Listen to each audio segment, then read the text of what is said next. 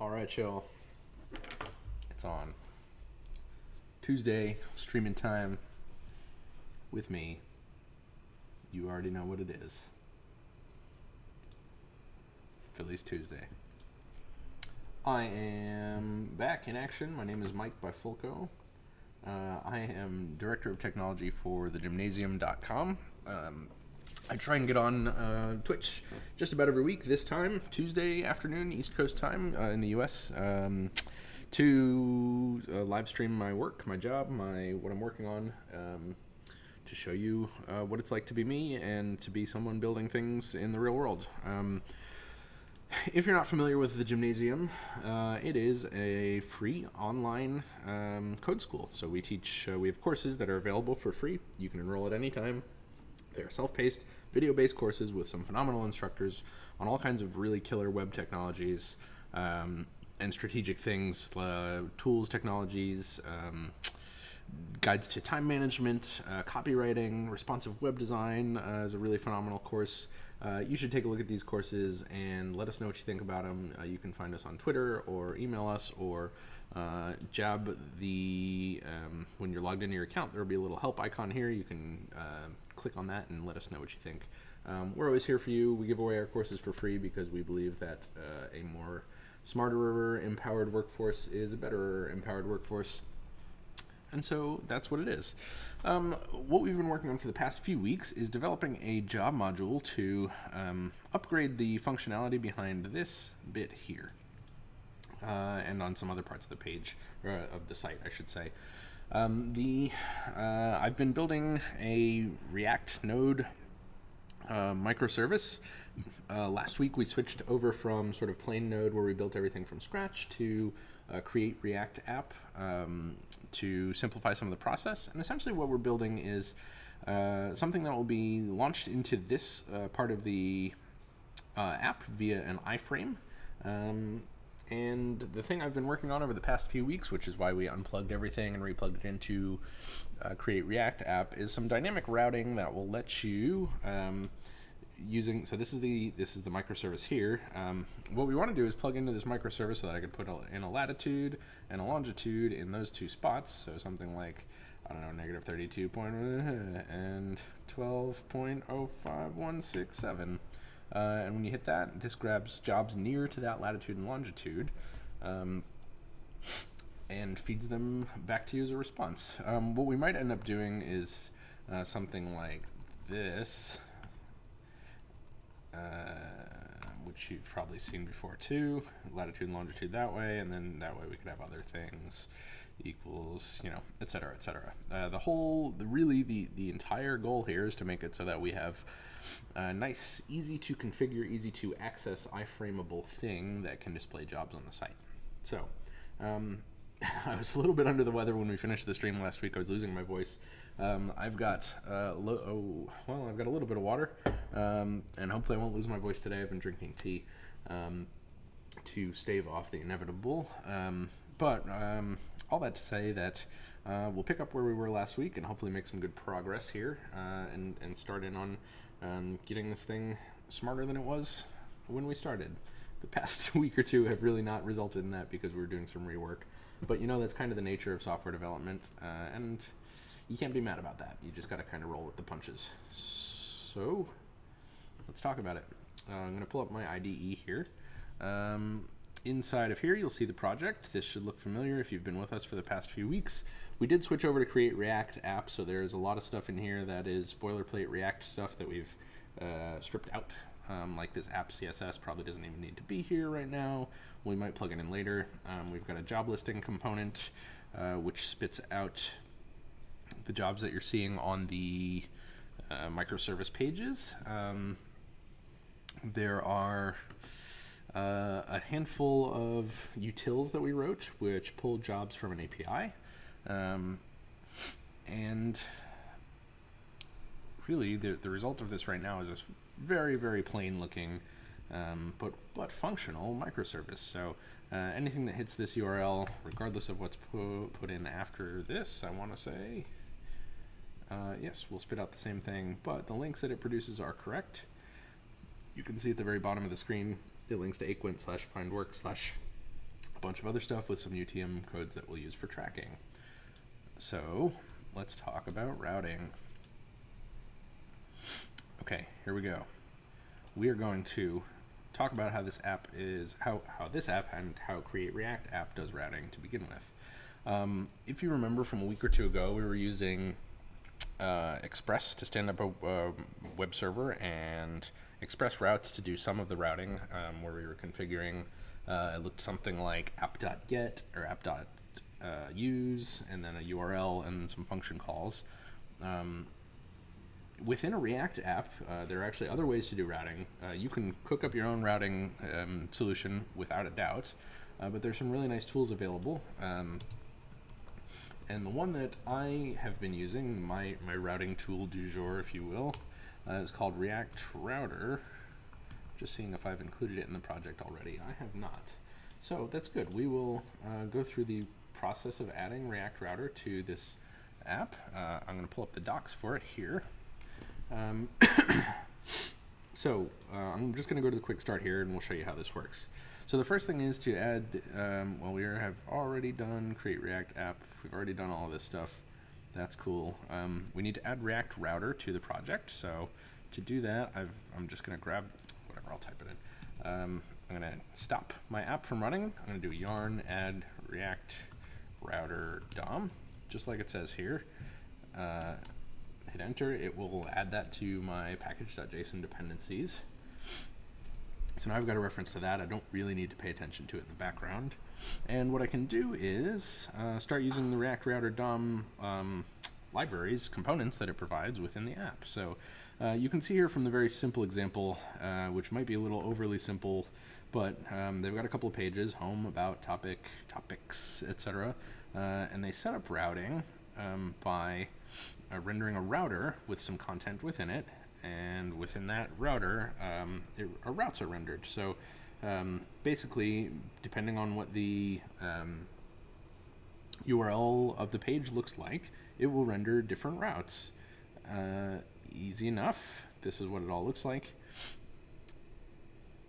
And so we're, we're going to work on a, a, simple sort of version of this uh, right now within the app. So I've added the libraries. We're going to go to the root of the app, which is this app.js appropriately.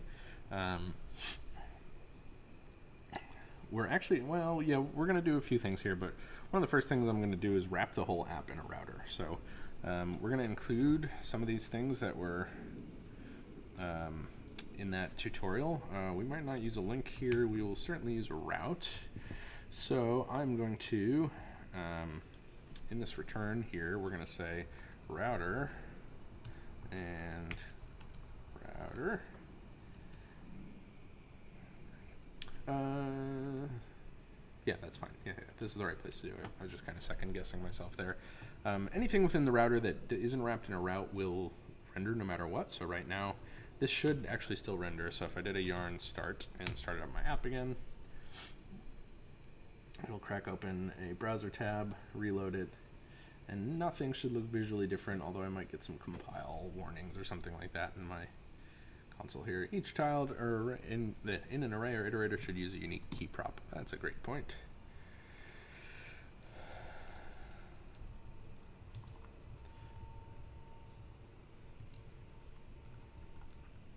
There we go. Just to keep React happy, we'll do that. Um, so here's what we can start doing in here. Uh, now that I have this router wrapped around my app, which I can show to you further by switching over to the React DevTools tab, uh, is I've got the app. It has a browser router, which is what we just defined. I took browser router and renamed it to router with this as. So this is an, effectively a browser router. Um, there are a couple of different routers that React uh, router provides um, because React applies in more than just the, uh, the browser. So you might have a, a, router for a mobile device or for a um, uh, out of browser routing. So uh, if you're doing server side rendering, uh, you don't have the, the browser available to you. So certain things aren't available like the window object or the document object aren't necessarily available and you need to do some, some things to check for them or to generate them behind the scenes. That's neither here nor there. Uh, sorry, let me keep an eye on all of my things to make sure everyone can hear me and whatnot. Okay, okay, cool, cool. Um, everything looks good. So what I was saying is there's this browser router here, which has a router inside of it, um, which is this is this is sort of the internal routing of um, how the browser router works. It creates a router sort of subcomponent, and then you can see the app, uh, which is what we are generating here. This is all my stuff. But if I put in here route, and I said, well, let's look at the docs. So I'm just going to create a default route.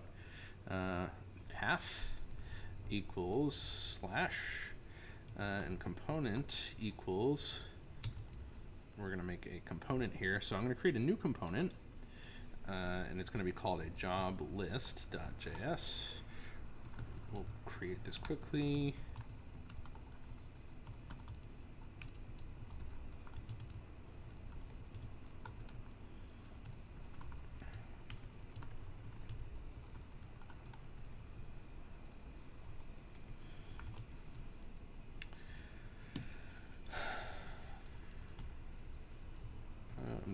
this a nicer name. Job list. There we go. Okay, so I've got that all set up. Um, we need to now include that. So this is going to say job list. And in here, I need to export my job list. Oh, and I need to zoom in so you guys can see this. I always forget to do that. Okay, export default as job list from job list. Great, now I've got this job list guy here. I can go into my app and include that from my components. So that will look like this.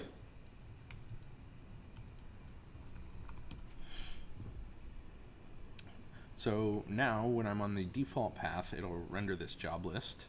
Um, and it should render it at the bottom of the page right now. Uh-oh, a router may have only one, well, yeah, may have only one child element. Ah, this is uh, apparently true. So I'm going to wrap this all in a div.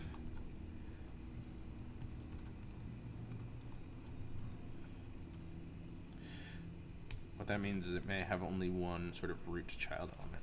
So you can see that we just rendered this list of jobs, and at the very bottom it says job list. So um, basically what I'm going to do is uh, upend I'm going to upend this and put it in inside of the job list component because there may be different um, presentations of the, the data coming back from the API that we end up using. So um, that means I no longer need the job listing in here. this can go back to a single line. And we'll pull this up because I'm sure to yell at me at some point.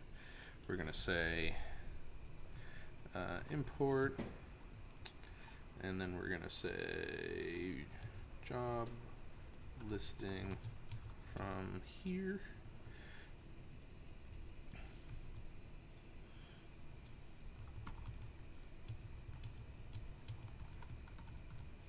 There we go. We're gonna start to make this all smarter and break it down a little more um,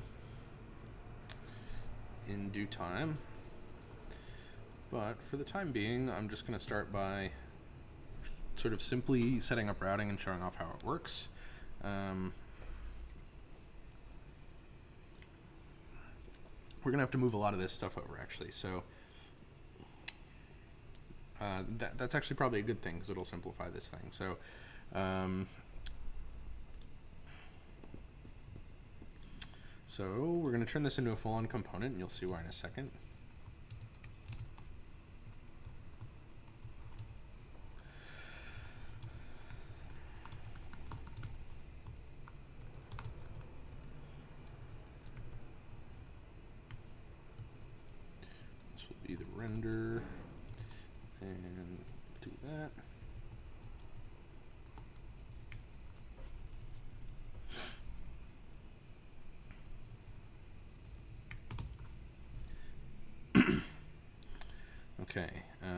basically we're going to pull in these life cycle, life cycle methods from the app uh, into the job list. So we will do, grab all these.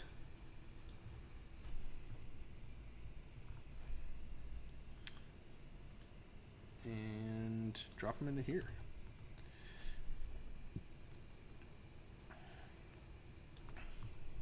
So you can see that um, this will end up simplifying um, some bits and, and sort of making some more complicated, but it's okay.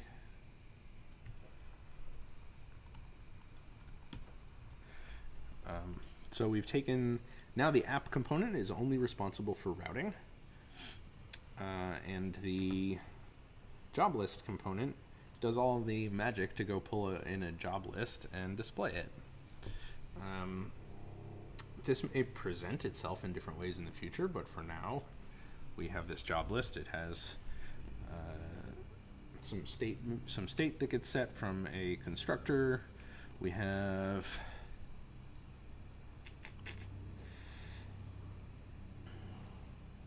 let's see. This should be this dot state. Oh, we need to pull in map here. That all makes sense.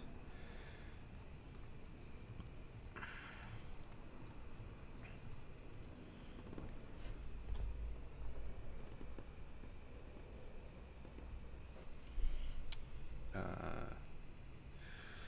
what have I done wrong? So, cannot read property jobs of null. Means this dot state is not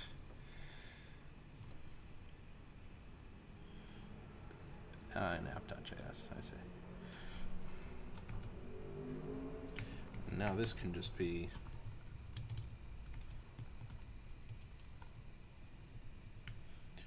no longer need to wrap it uh, wrap a render function because this is now much simpler.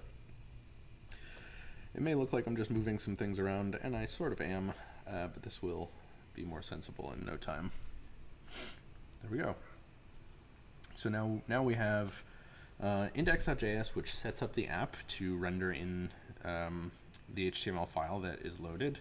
Uh, app.js, which sets up routes. Uh, and then we, our only route currently is this job list, which uh, creates, like goes, goes out to our API, gets a list of jobs, and then for each of those jobs, it renders a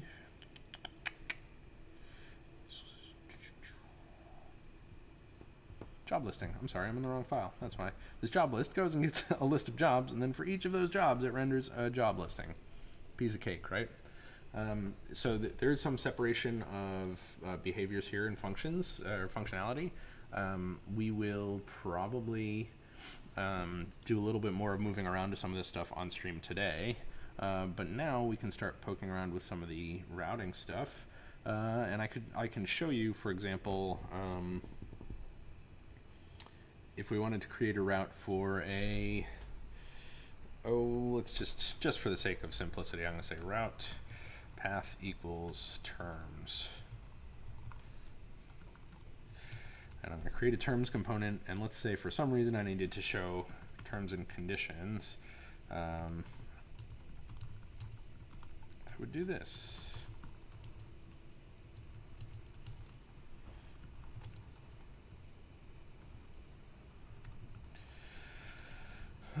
let's see, H1 terms. You agree to these terms.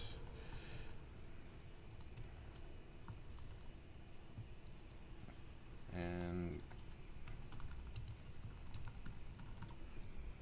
so by saving that and now including it in this list here,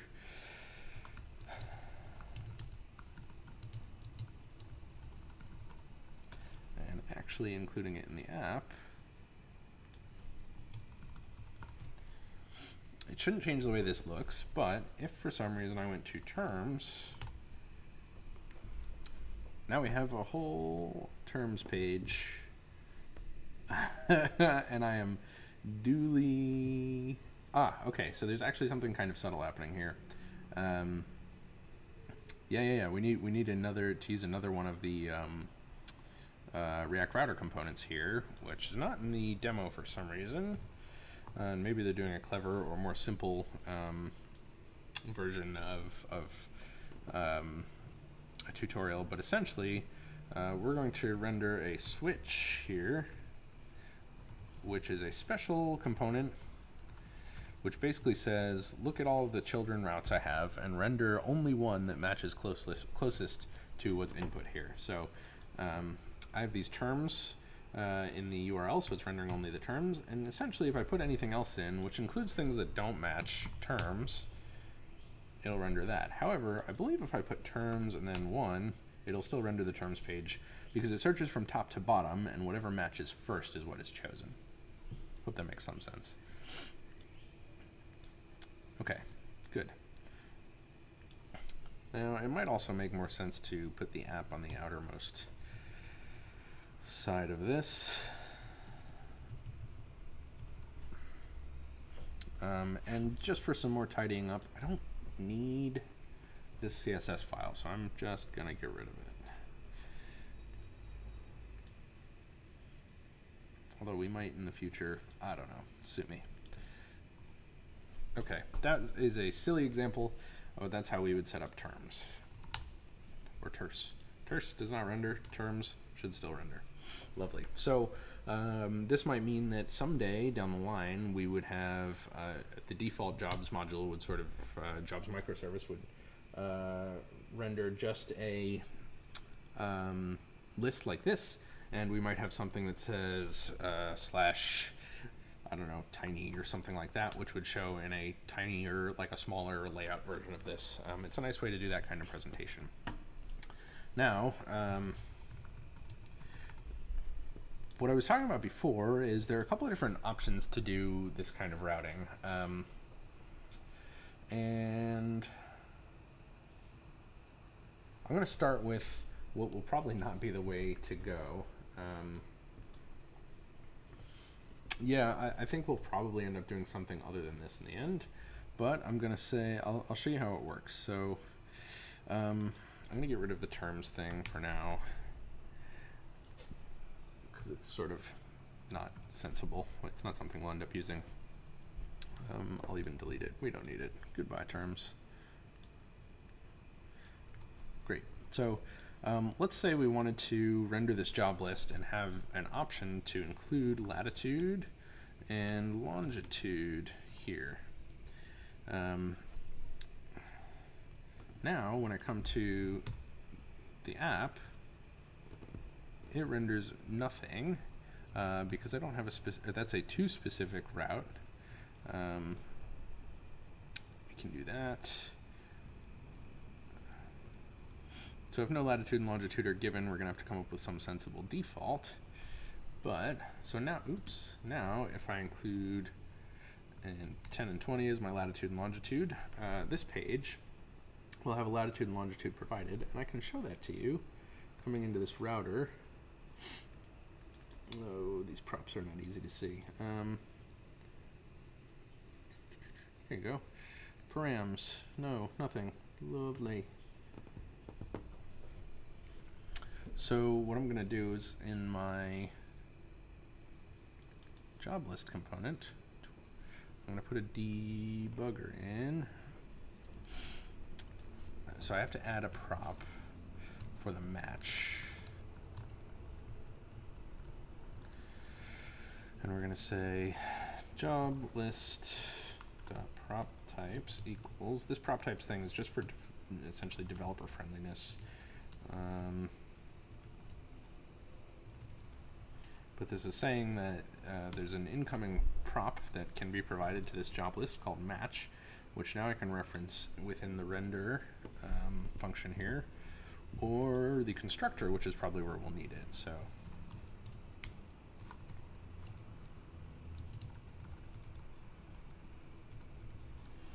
Okay, and we're going to just put a debug line in here. If a match comes in, which is something that's passed from the React router, we're going to take a look at what's in there. So uh, we can see here that we have this match with parameters latitude and longitude coming in of 10 and 20. Uh, the full path comes in as that, the URL, um, so this is the path that it matches to within the route structure. The URL is what's actually up here past the um, localhost bit. Uh, is exact is true, which means it matches this thing exactly. Um, So we know we have a latitude and longitude in here. So what I could say is um, latitude equals, well, we're going to do if match dot params and match dot params latitude I should be very careful to spell all these things out all the time. I don't want to start mixing these up. Okay, uh, latitude, then, so up here we're going to define some sensible defaults. Latitude equals, I'm just going to put this here. And I'm going to say, that's got to be a let we'll say latitude equals match.params latitude. So uh, if we have a match, meaning that uh, React Router has passed in something for a match, and it has params and it has latitude, then we're going to do that. Um, we're also going to do the same for if match dot params and match dot params dot longitude longitude longitude equals match dot params dot longitude. Now, we're gonna do some simplifying here. Um, so pay attention, it'll get a little confusing. Let longitude equal, and we're gonna use this default from below, and I'll explain what's going on. So, um,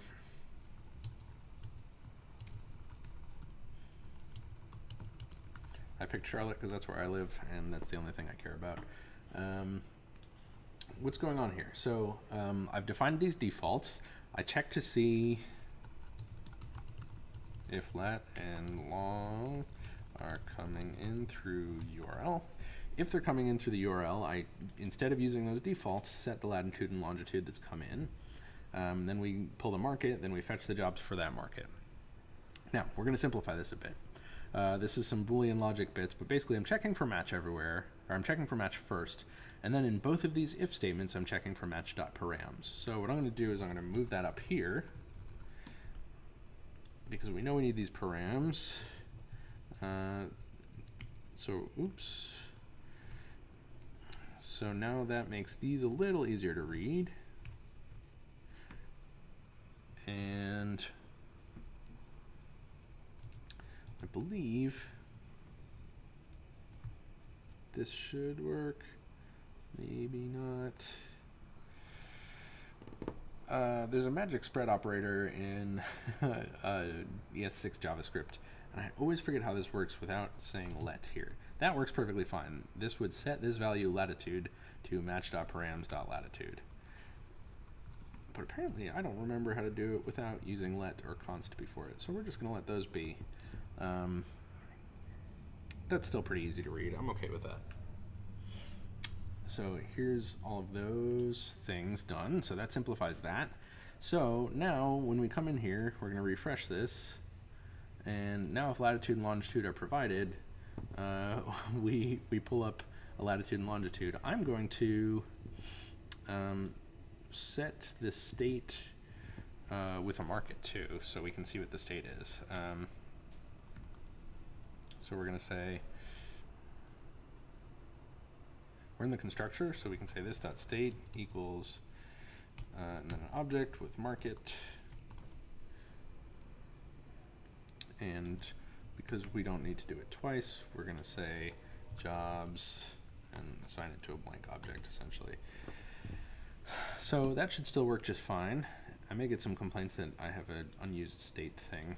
Um, Man, where's that coming from? Generate UTM slug is defined but never used in the job list. Okay, we still need to use that at some point, so I'm gonna let that bother me. Um, so now we have this market here. So I'm gonna render the market that we're serving jobs for just to show um, what that looks like, what, what actual market is there. So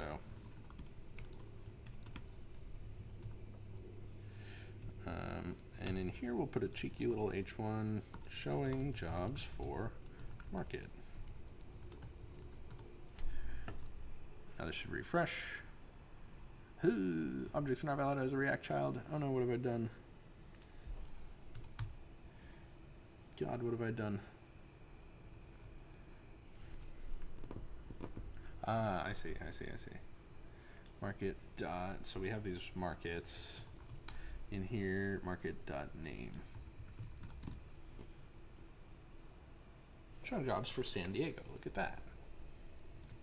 And maybe we don't want to have this be gigantic, so we'll make it an H6 for now, which defies everything. I should probably use a different tag. Um, we'll use a P.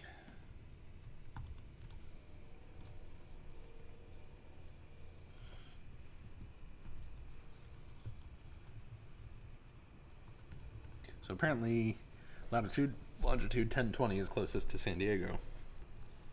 If I leave these out, it should show them for Charlotte. There we go. Uh, and if I put in another um, latitude and longitude from my constants, that should work. So let's do Boston just for shiggles here. Oops, slash latitude. slash longitude. That did not work. Pourquoi? Hmm.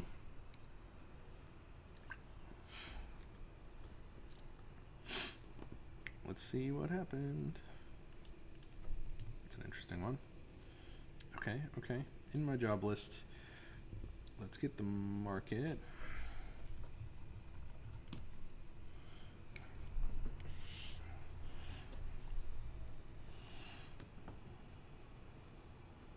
latitude and longitude are coming in correctly, but apparently my logic for determining the market is not working right now.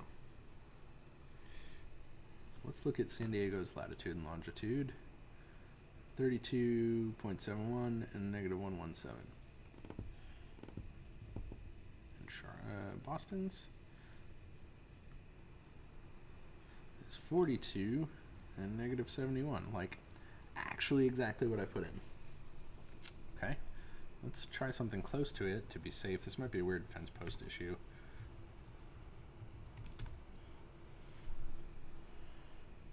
No. Okay, that's good. We found a problem. Let's start debuggerizing that function.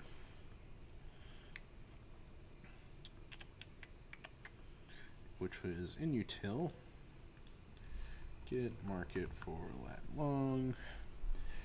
Um,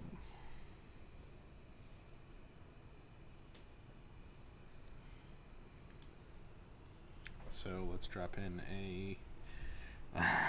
this is going to be tricky. I think it's possible that the problem is in here, uh, and this function gets called a bazillion times. So we're going to do this with some. Um, yeah, some console logs probably are best. So we're going to say um, input coords are nearest to market name so far. We found a bug. Let's go figure it out. Okay. Very interesting.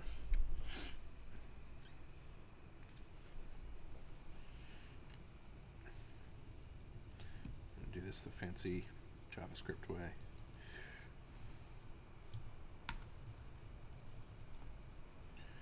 We're going to make this a little more helpful. So we'll give the input coordinates of parenthesis and then a position dot latitude and position dot longitude are nearest to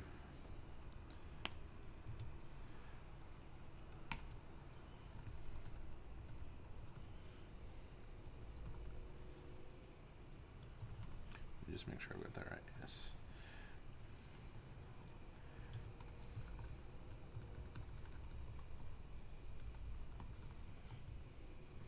Okay.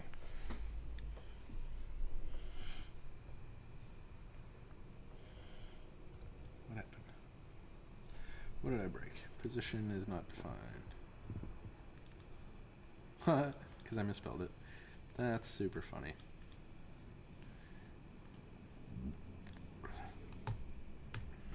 Rude of me.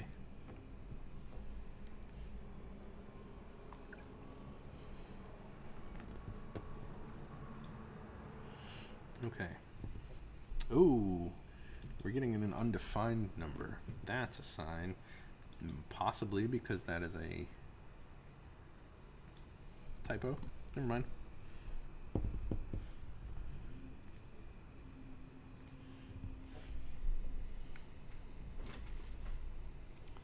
So this just just downright has to do with my logic being wrong somewhere in here. Okay, so now we will investigate this function and see what's going on here.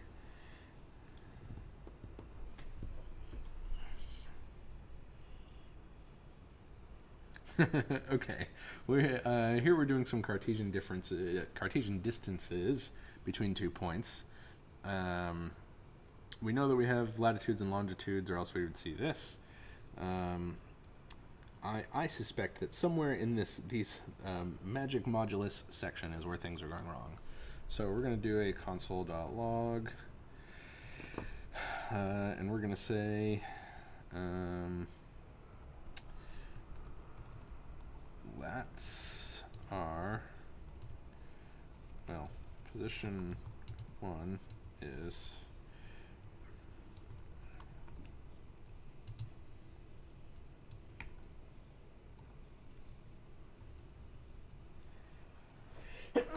Excuse me.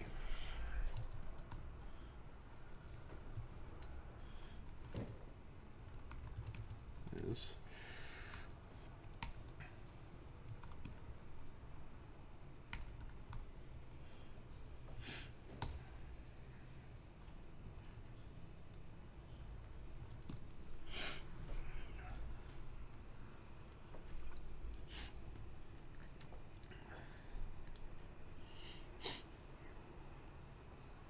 well, I forgot a parenthesis. That's okay.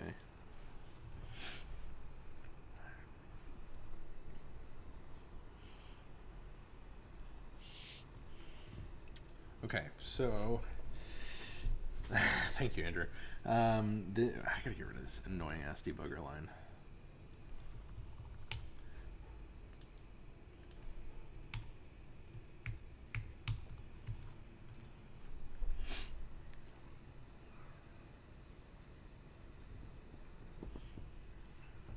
So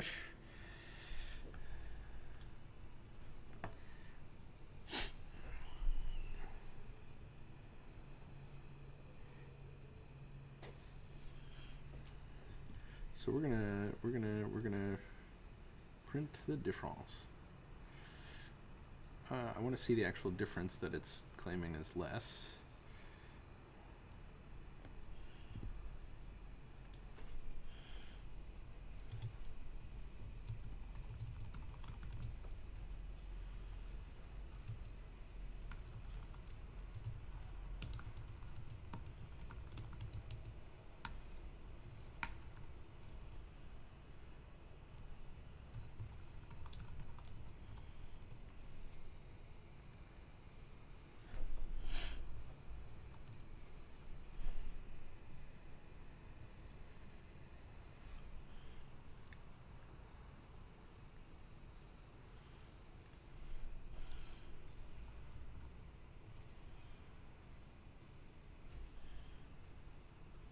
Okay.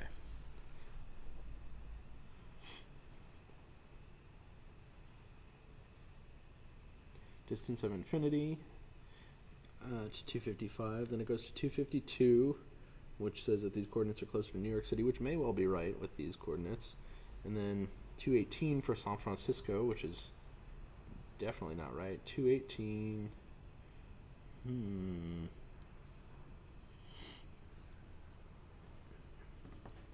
My logic is not working here.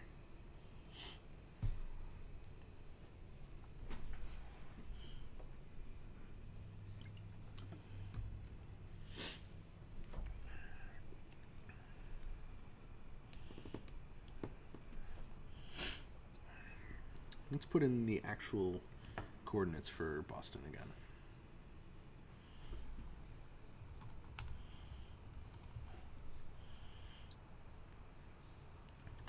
which should be a distance of actual zero.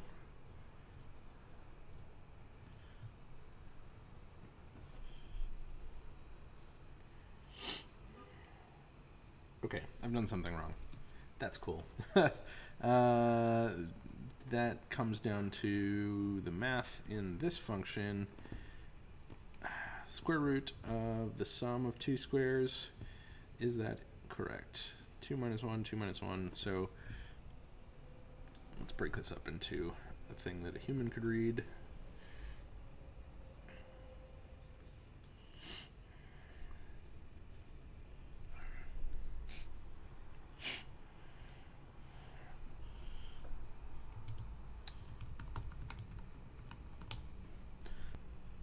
Let's just make sure. Uh, exponent operator. Math.pow. Uh-huh. This, I feel like this is the correct shorthand, but we're gonna make sure.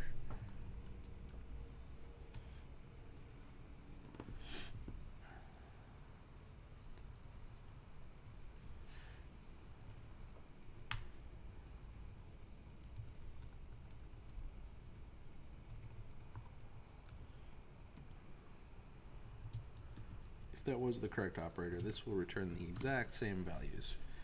And the error in my math is somewhere else.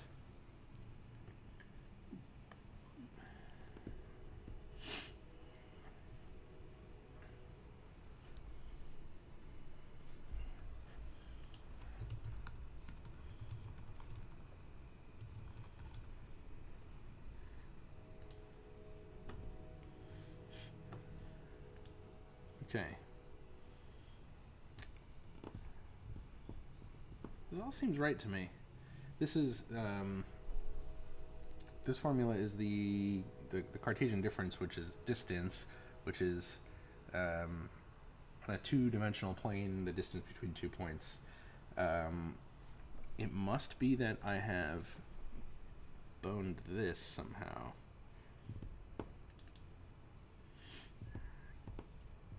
Which is interesting because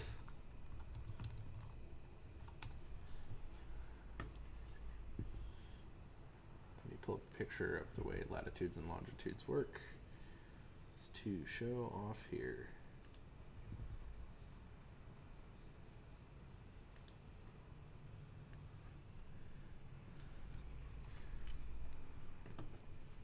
Okay, so on this random web app I've pulled up, uh, somewhere Boston-ish, which is around about here, has a latitude of 42-ish and longitude of 71-ish. 42.35, 71 point blah. Yeah, that makes sense. Um, the the trick and what I might be doing wrong is the zeroing out of the latitude and longitude around the uh, either prime meridian or date line, which would be right around here. So it goes, you can see the longitude goes from negative 179 there to 179, come on, move over. There, let's call it. Huh, okay, let's see.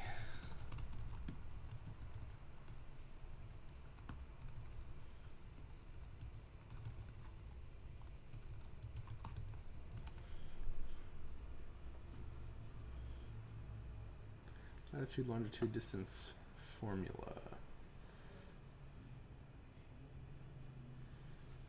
So, let's look this up. Do some quick maths here.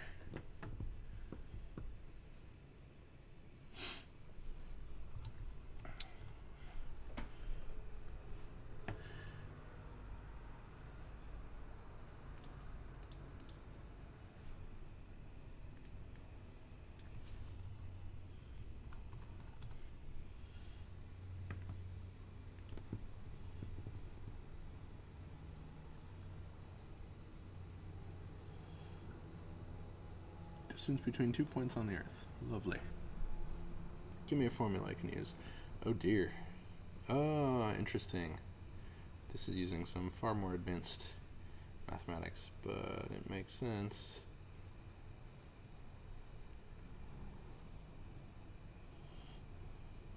Cool.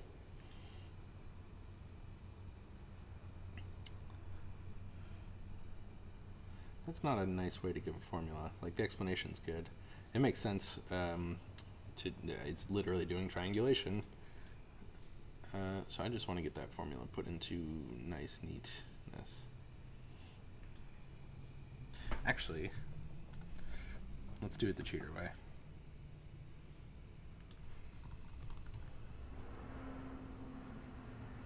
Search npm.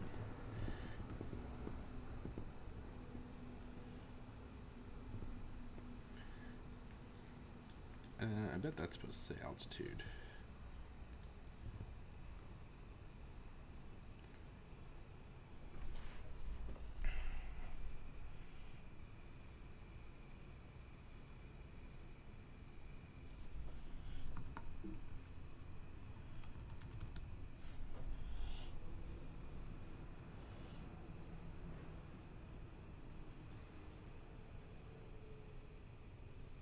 Yeah, okay, let's give this a shot. So this is how this is how easy it can be to do coding uh, in 2018 if you're fully um, okay with relying on other people's node packages. Um, given that 3,500 people have downloaded this in the last week, I'm going to say it's probably safe to trust.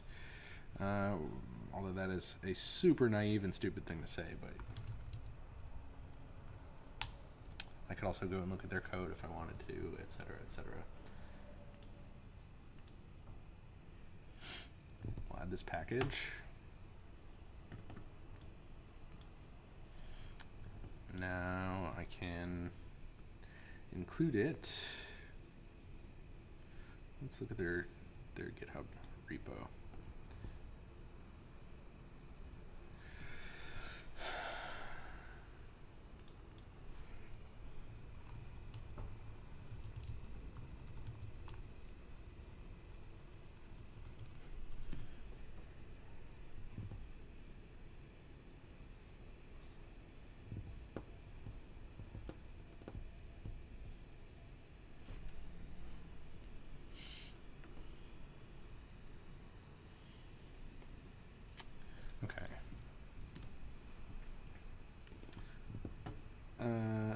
so we're, we're going to completely forego this fancy function that I wrote a long time ago, which probably has been broken for a long time.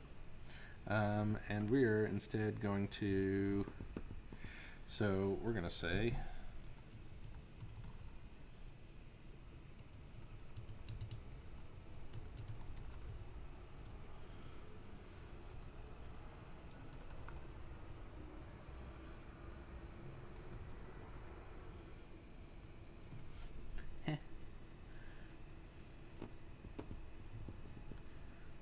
latitude, longitude, okay.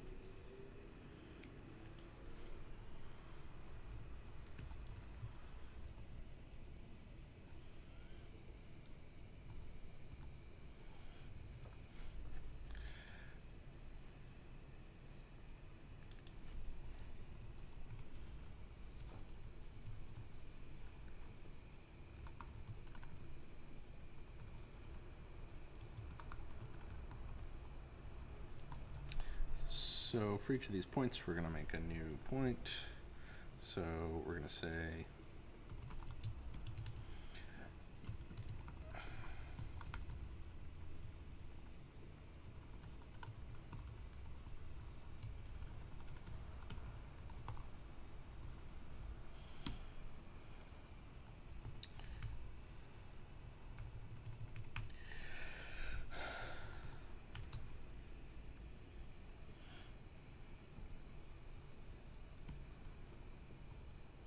There we go.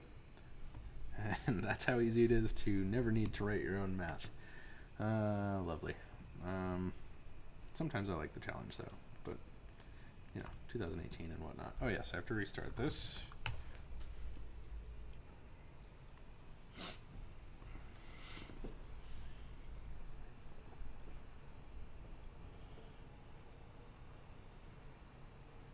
And now magically we're showing jobs for Boston because that's the closest city to the actual latitude and longitude that we have for Boston. Which means this function can go away. Bye.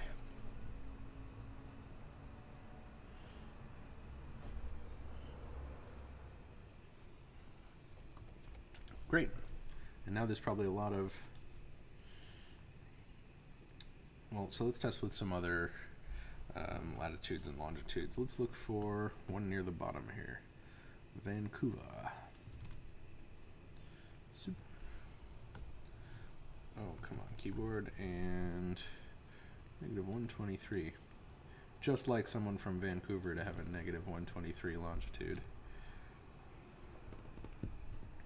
So it started with Boston, New York City, San Francisco, Seattle. We are getting closer, you can see, to Vancouver, which was the eventual result.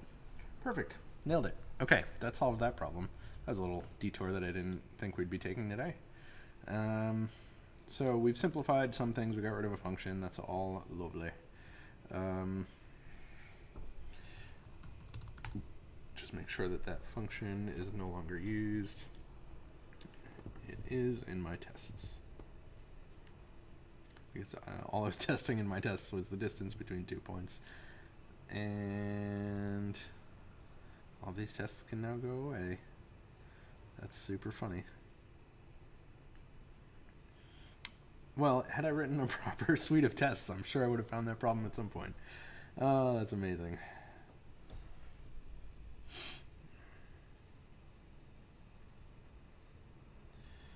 Yeah, shoot. Okay. We don't need this anymore. This should refresh one more time. Okay.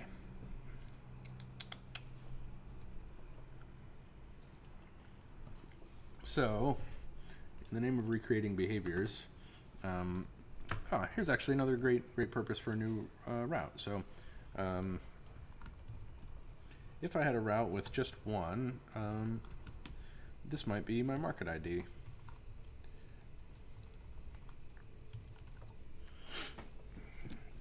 And so, um, now instead, uh, you can see that if we got in here and just put in the one uh, latitude, does that not work? Let's find out. Um, in my job list, I'm going to put another debugger where we were looking at that match before. And we'll see what comes back. So, uh, match and params came back with just market ID, and that's good.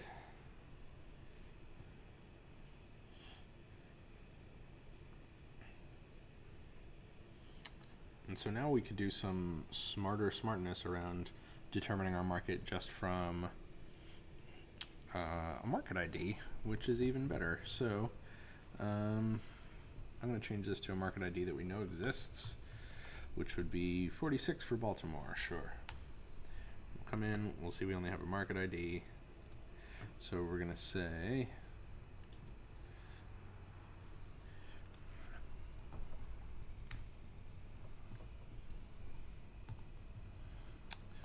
and we're going to change some of these around a bit here. If So first we're going to check to see if it has both latitude and longitude. Otherwise it's not useful to search on. And we're going to do that.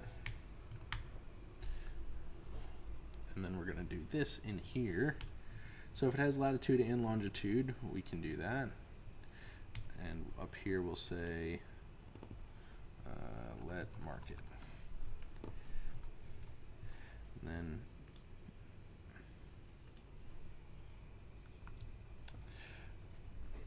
we'll have an else if here. So if we only have a market ID, then what we're going to do is say market equals get market from ID. Actually, I think I have the markets in here. No, I don't.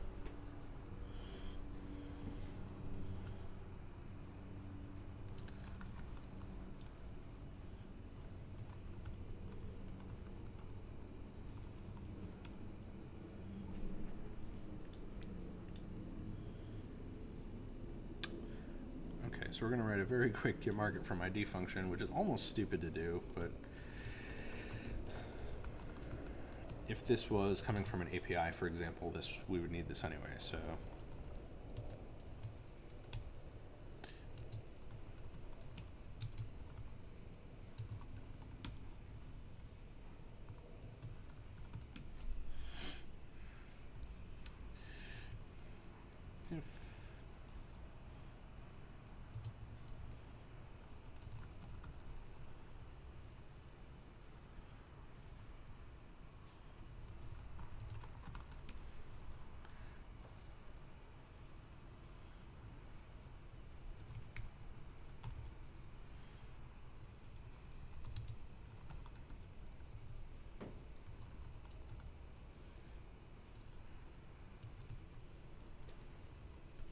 actually.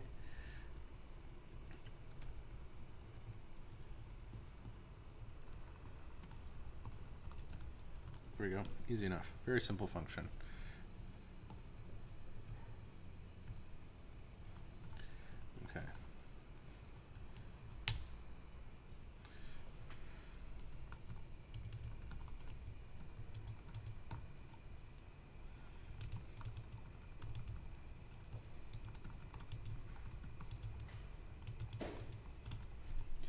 now we now we have a market ID or get market from ID function in our utils here.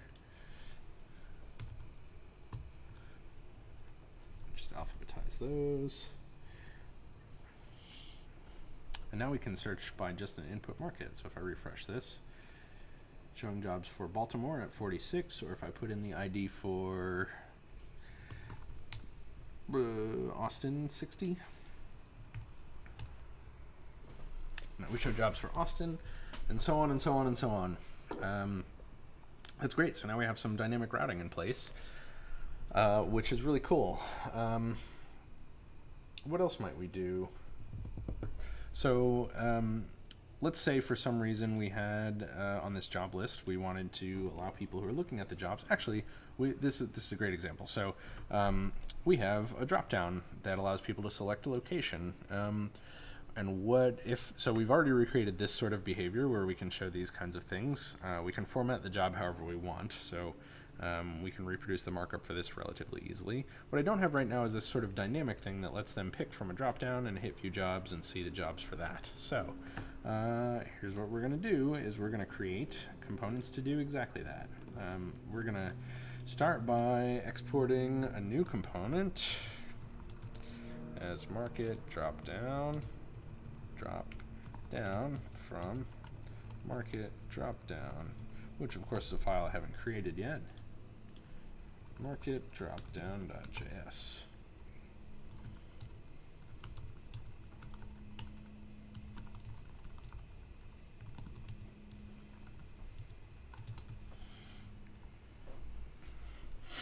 Um,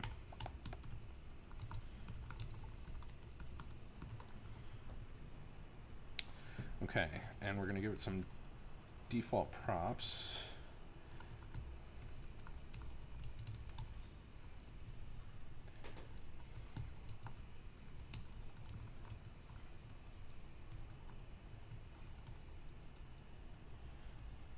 So we're going to say um, default market equals, or let's see, initial market is going to be the name of it, and this is going to be a number.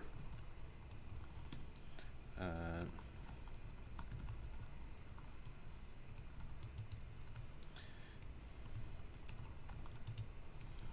and we'll default that to Boston, which is kind of just my standard that we've been using uh, on the website. Boston is ID of 10.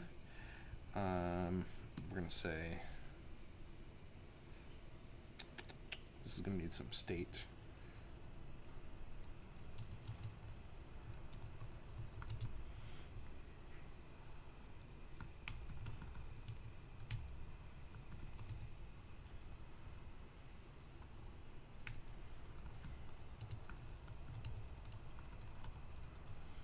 You can see I kind of follow a pattern when I do this because Um, it just makes uh, it, it allows me to ensure that I don't forget anything. I'm sure there's ways to automate lots of this stuff too, to be honest, but. Okay, so we're gonna give this thing a constructor.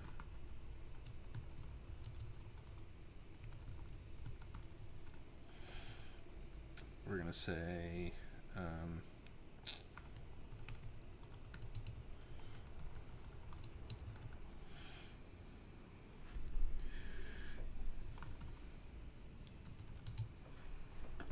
this is going to be initial market ID. Be very specific here.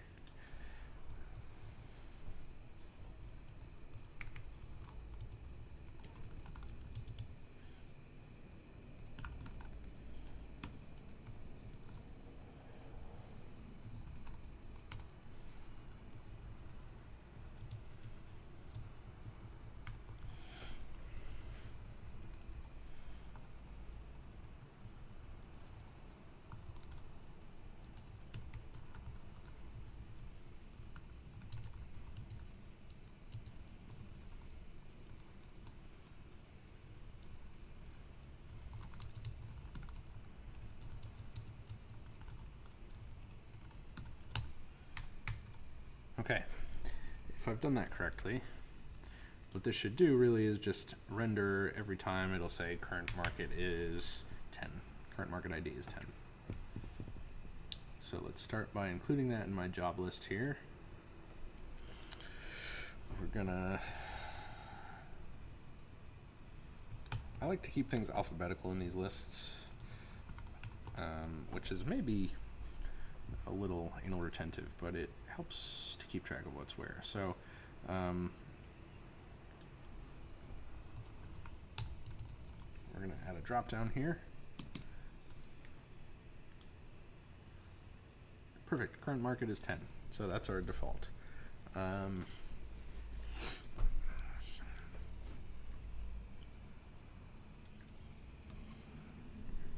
we can change that, of course, by providing an initial market ID here.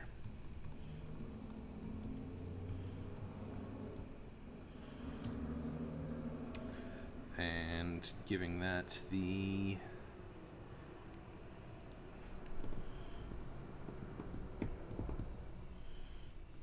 market, that here.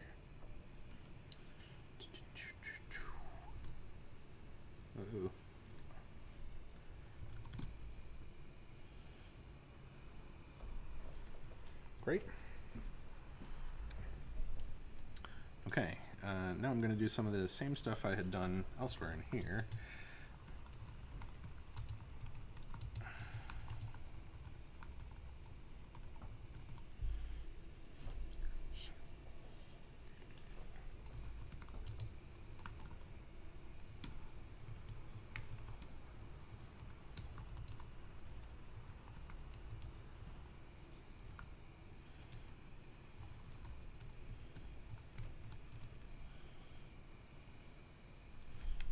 current market is 16. I'm going to say current market is, so I've just plumbed this in, they'll now look up the market as well. Uh, now we have to actually turn this thing into uh, a component. So um, those drop downs are selects.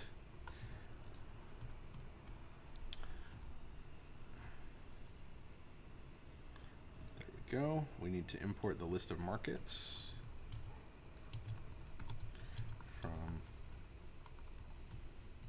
Constants. We're going to use Lodash to iterate over them. Mm, map. And we're going to say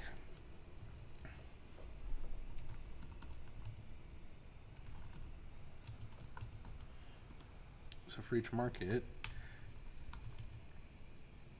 now this is something I'm going to have to cheat and look up because I always forget what goes inside of the option thing for select.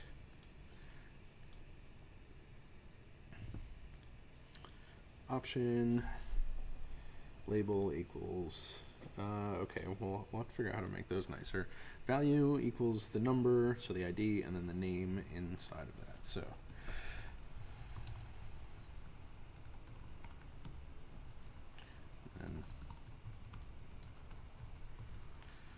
Now, I should have a drop down with all of these markets in it. Sweet. And I can set its value by providing, I think it's just providing a value to this thing.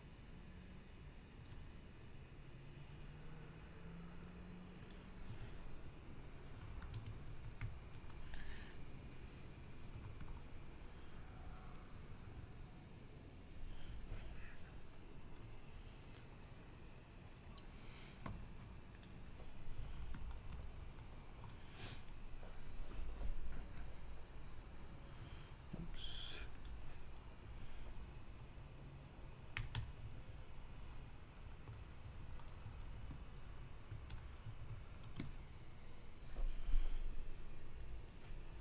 Sweet. So now we have this thing that defaults to the current market. I no longer need this. And the theory is that we could put a button next to this.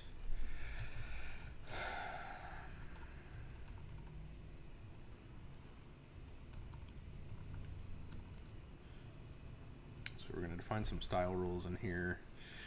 Uh, we'll do it here.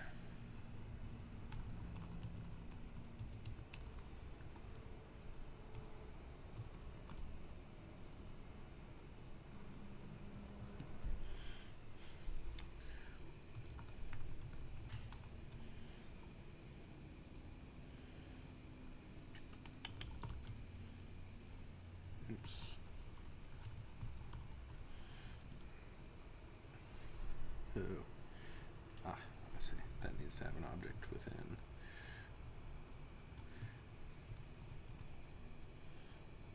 Didn't break anything. Style sheet dot create is not a function. Where do I import stylesheet from?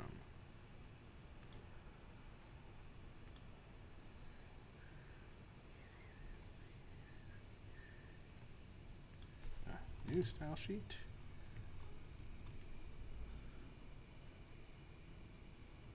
Illegal constructor. No. Okay. Uh, I can do it without that. I'll just use the object. Lovely. Okay, and next to my select, I'm going to have a button. Hi. Uh, and it will say, what does it say currently? View jobs.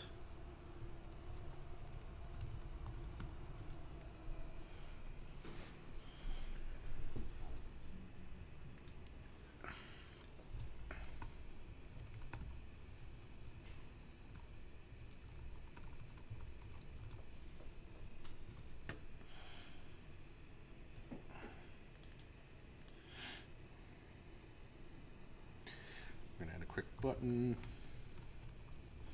style rule here. Um, give it a little left margin.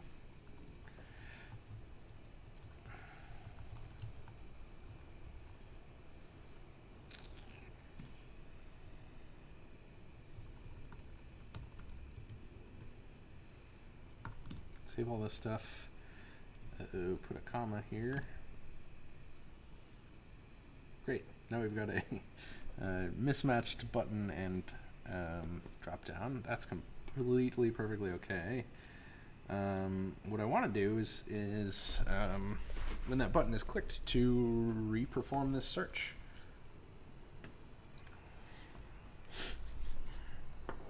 So, how best to have done that?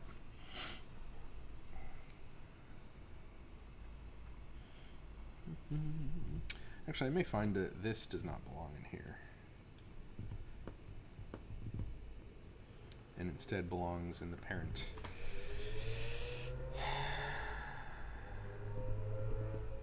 Hmm. I think that's going to be the case.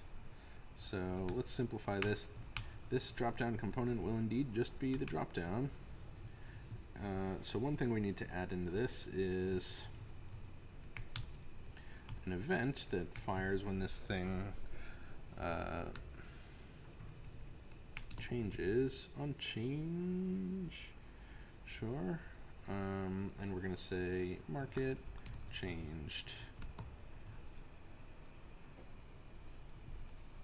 This dot market changed. Uh, handle market changed. We're going to create a function then called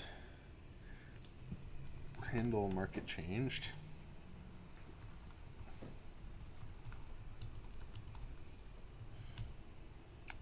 And then we're going to say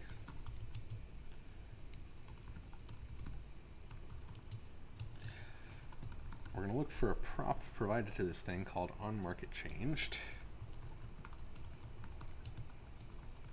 That will be a function.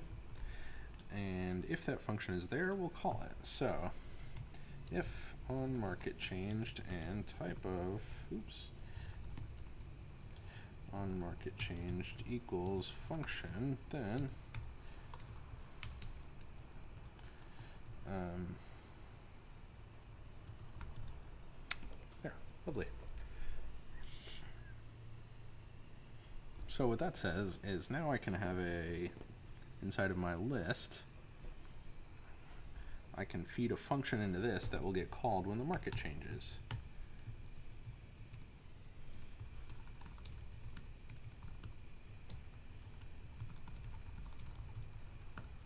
And I'll create that function in here, call it handle market changed.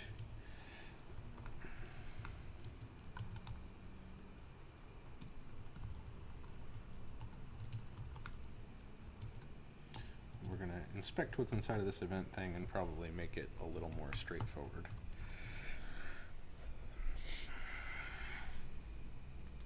So, change that to Indianapolis. We now get this handle market changed bit that gets called.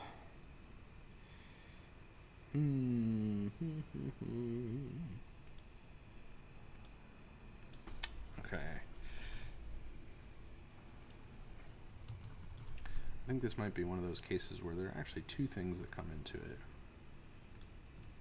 close some of these things that are unnecessary right now.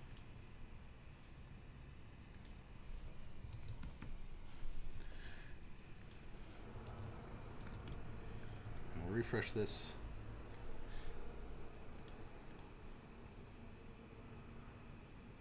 Okay, there's no value passed in, and I don't know what this event is, so nothing will be passed there.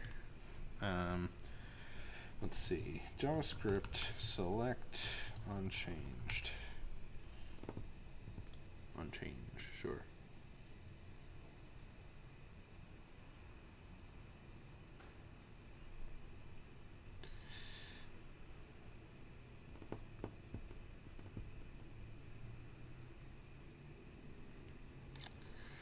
And checkboxes occurs when the check state has been changed.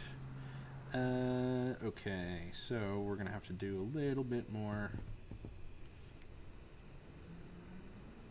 searching around here.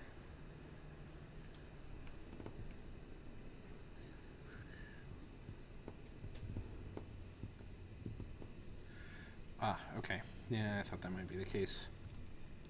So this is where we get into some always with the Bing. Uh, that's so Google doesn't track me down. So this is where we get into some um, React stuff that I might not have done before. Um, uh,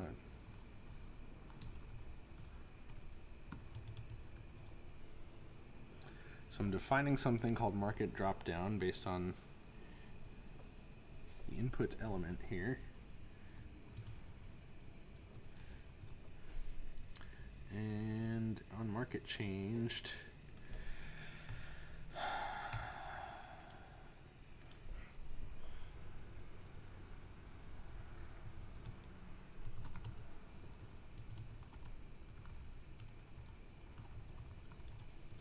And it looks like we're going to be looking for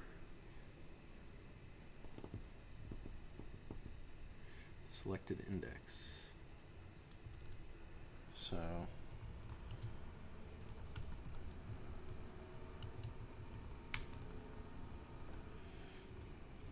let's see what happens. Doing some discovery here. changes to Osaka. So we do have great, great, great, great. This all worked. So this is the market drop down. It's got please. It's got a bunch of options inside of it.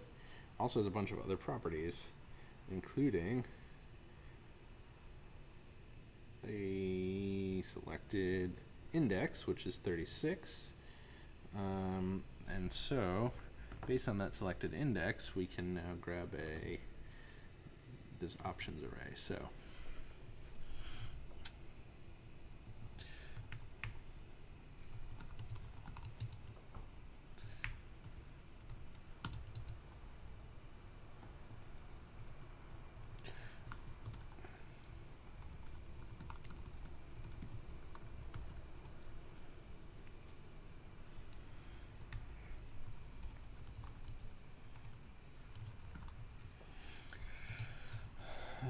get from ID.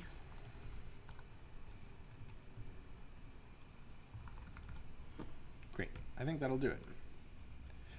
So now up a level, I'll have passed the market. Back. Again, let's choose Osaka. That did not work. Ah, a couple of things. Okay.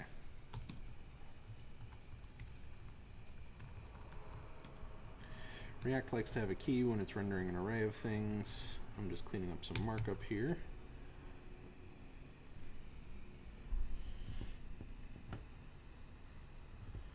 Market dropdown. Market is assigned a value but is never used. Style is assigned a value but is never used. Yeah, whatever. We don't need that any longer, apparently.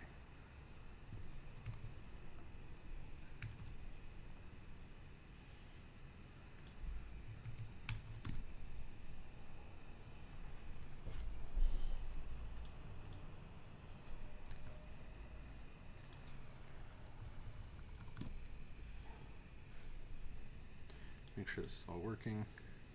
So, no. No, no. Okay, let's break this out.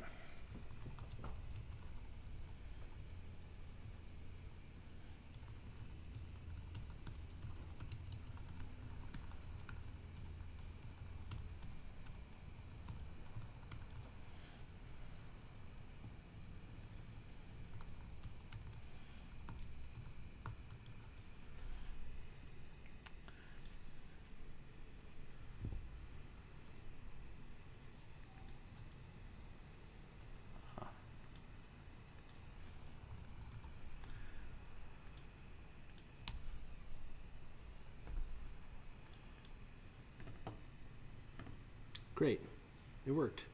Okay, it was this dot value that was missing, I believe.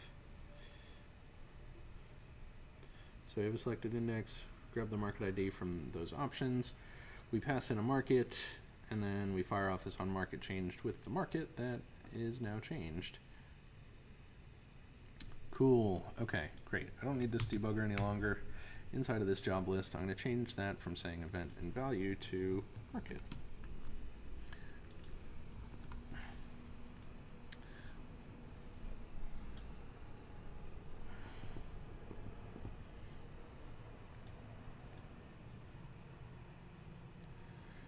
Okay.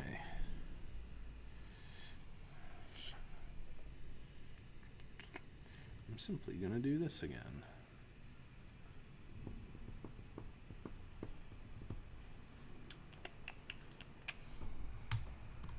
So, what should happen now? In theory, this will all update when I change this to show jobs for another uh, city. So let's pick Charlotte. Look at that. What I haven't done is change the state so that this is reflected. So what I should do is um,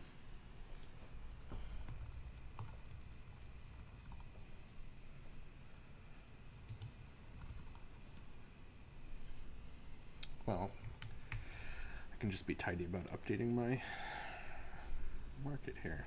Um,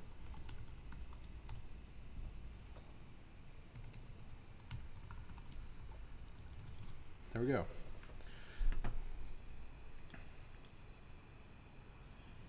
Showing jobs for Richmond. showing jobs for Portland.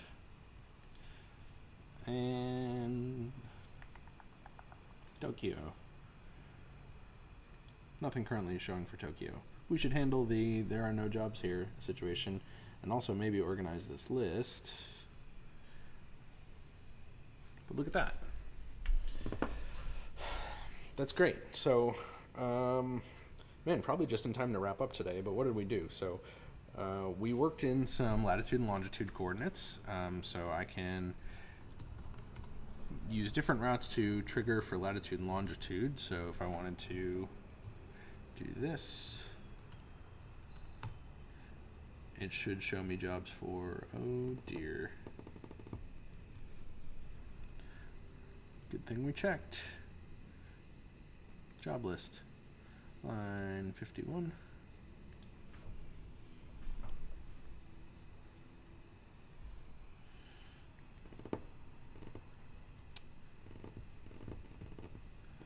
Ooh, for some reason that did not result in the market coming back. Why? Why?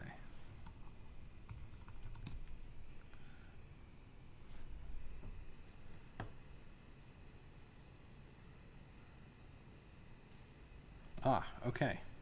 So, look at what happened here. This came back with params, and it only came back with the market ID, even though there were two here. So, there are two potential solutions to this.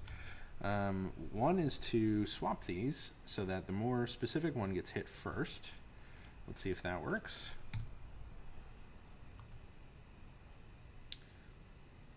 Uh, please don't freeze. May have frozen on me. Let this guy go. Come on, come back. So now I have latitude and longitude that have come back, which should result in Boise showing. Apparently there are no jobs there currently. This should still work if I change it. Yikes, maybe not. Or the exact keyword can be used here. Uh, and now these can be swapped back and it'll still pull a market. Oops, dang, what did I do?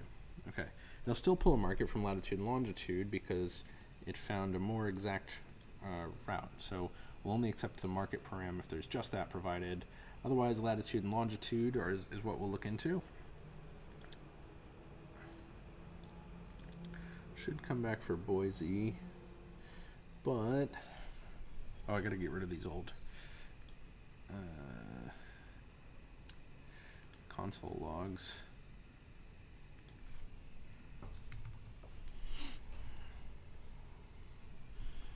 Why am I not seeing any jobs any longer? That's troubling.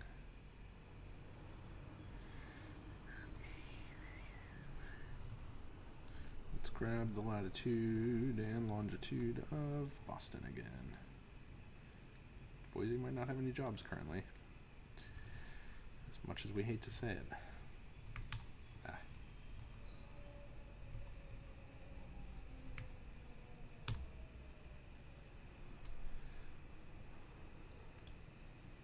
Okay, Boston's still working, and what if I provide just the ID?